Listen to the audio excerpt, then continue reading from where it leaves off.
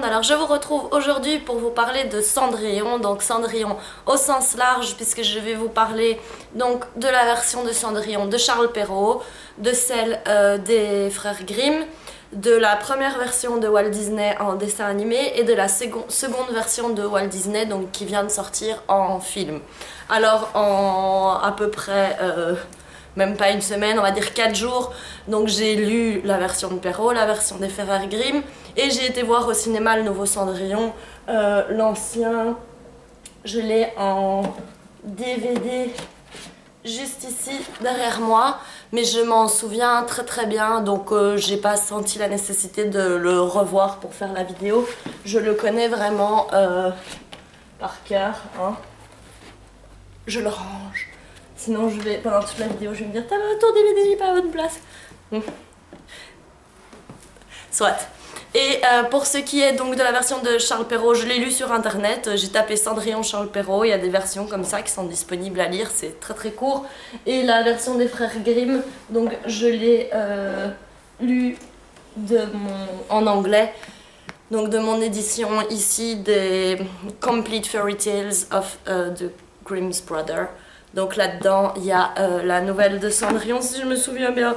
C'était page 74 et pareil, hein, je prétends pas avoir fait de l'exploit, c'est très court à lire. Moi, je retrouve plus, c'était pas 74. Ah si. Donc voilà, Cinderella. Donc, pareil, je vais le ranger. Hein.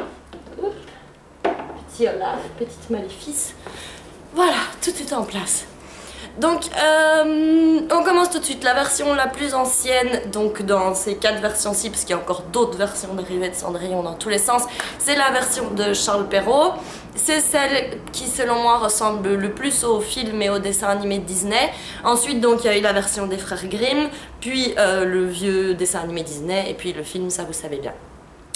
Donc, euh, pour la, ce qui est de Disney, il s'appuie clairement sur la version des, de Charles Perrault et pas sur la version des frères Grimm, euh, à une exception près dans le film peut-être, mais certainement pas pour le dessin animé. Je dirais qu'il y a quasi rien euh, qui vient euh, spécifiquement de l'adaptation euh, de la version des frères Grimm pour, Disney, donc ils ont laissé ça assez de côté, donc je vais commencer par là puisque ça a moins de rapport avec la comparaison avec le reste.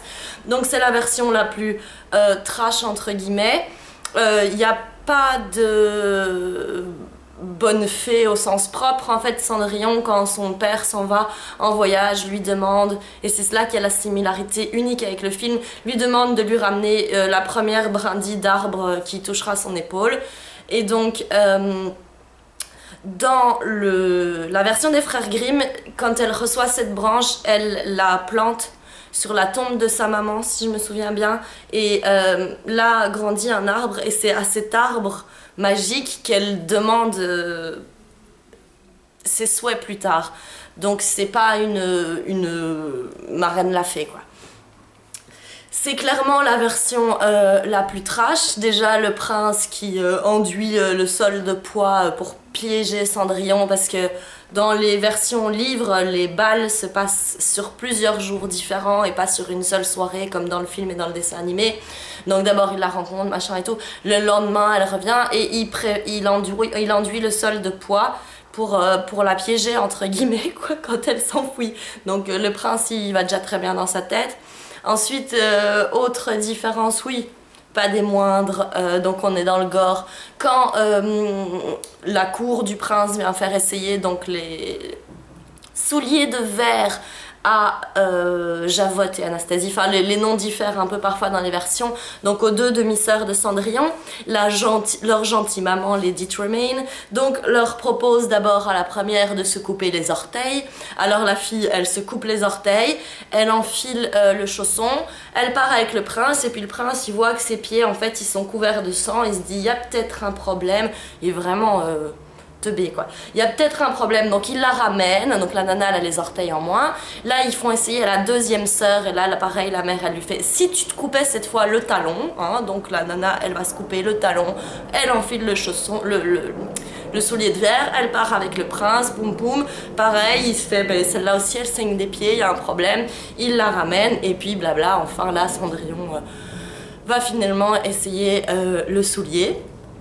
Donc là, pas de différence non plus. La différence majeure aussi, je dirais, se situe à la fin. Donc lors du mariage de Cendrillon, il y a deux oiseaux, je sais plus si c'est des colombes ou des corbeaux, j'en sais rien, vous allez me dire colombe, corbeau, ça n'a rien à voir, mais je ne sais plus, on va dire des oiseaux, qui se posent d'abord sur les épaules de Cendrillon, et puis qui vont chez les deux sœurs et qui en gros leur crèvent les yeux, quoi les deux demi-sœurs, on va leur crever les yeux pour finir l'histoire. Il y en a une, elle a plus d'orteils, l'autre elle a plus de talons, et puis en plus elles ont les yeux crevés. Donc dans le genre euh, vengeance, euh, voilà. Donc je suis pas très très très étonnée au final que Disney ne se, soit pas inspiré de la version des frères Grimm, n'est-ce pas? Je pense que vous aussi, hein.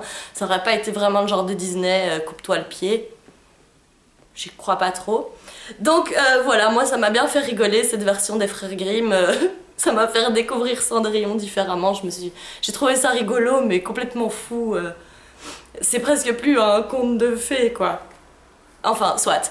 On se passe ensuite euh, au reste. Donc, comme je vous ai dit, il y a seulement l'histoire de, de, la branche d'arbre qu'on évoque plus ou moins dans le film, mais sinon on se, il, se base vraiment sur le, conte de Charles Perrault, où là il y a la bonne fée, il n'y a pas de coupage d'orteils, il n'y a pas de piégeage de Cendrillon, il n'y a pas de, des yeux crevés. Ok, donc euh, vous pouvez vous dire que Charles Perrault, il n'y a pas vraiment beaucoup de différence euh, avec le, Disney, si ce n'est qu'ils ont rajouté plus de trucs euh, dans, dans les versions de Disney. Euh, qu'est-ce que je peux vous dire? Alors moi la version que j'ai préférée au final euh, à lire c'était la version des frères Grimm parce que c'était drôle. À regarder ce que je préfère c'est le nouveau film qui vient de sortir. Je le trouve vraiment magnifique euh, visuellement, c'est superbe. tout est canon, je trouve Cendrillon, Lily James, si je me trompe pas sur son nom, le joue super bien. Elle rend justice à cette princesse en lui donnant un peu de plus de de poids, on va dire.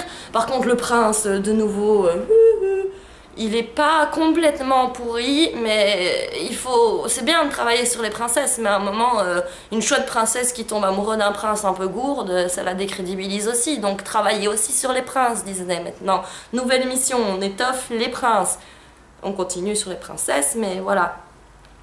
Euh, je l'ai vraiment beaucoup aimé, donc les, deux sœurs, euh, ils ont super bien casté. Kate Blanchett en Lady Tremaine, c'est juste génial. Alors Elena Bonham Carter en euh, Bonne Fée, je suis juste trop trop fan. C'est les scènes que j'ai préférées en fait, les scènes où Elena Bonham Carter arrive, la scène de transformation en carrosse, la robe et tout ça. Et puis la scène après, où après les 12 coups de minuit, tout se détransforme quoi. Ça visuellement ça donnait trop bien, c'était trop trop beau, j'ai trop aimé.